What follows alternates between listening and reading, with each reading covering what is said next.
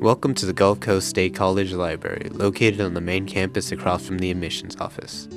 Let's take a quick look at your library and how it can help you in your studies. Our library offers over 100,000 books, online resources, and movies to check out for class studies.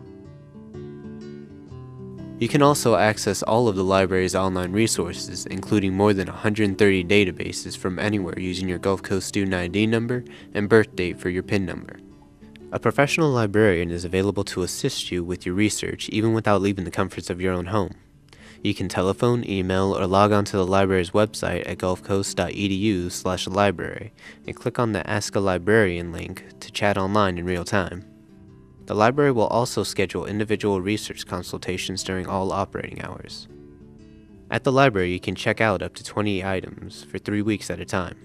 Need something the library doesn't own? Ask about interlibrary loan. It's free.